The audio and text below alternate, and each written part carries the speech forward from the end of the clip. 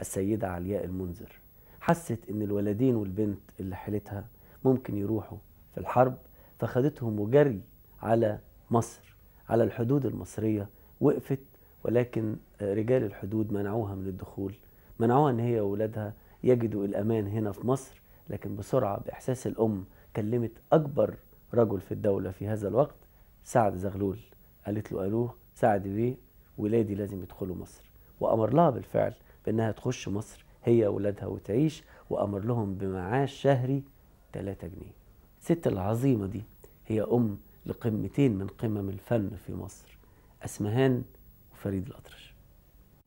ما تقدرش تتصور بقى العذاب اللي الله يرحمها والدتي تعذبته لأنه كنا مقطوعين عن أهلنا وما كانش في حد يعولنا فكانت والدتي بتشتغل آه، حاجات آه، آه، تعمل مناديل بقوية أنا أتذكر والدتي كنت أشوفها بعينيا. وأتذكر الأيام دي كانت تشتغل في البيت آه، حاجات بترتر والحاجات دي عشان خاطر تصرف علينا وتعولنا لحد لما تنتهي وأهالينا ما يعرفوش إحنا فين ولا عناويننا ولا قادرين نتصل بيهم. فكانت مقطوعة الدنيا المواصلات إزاي تقدر تبعت إزاي الجوابات هتوصل؟ لا يمكن. كانت مقطوعة في حرب وما عندناش ناكل ووالدتي بتشتغل عشان تعيشنا.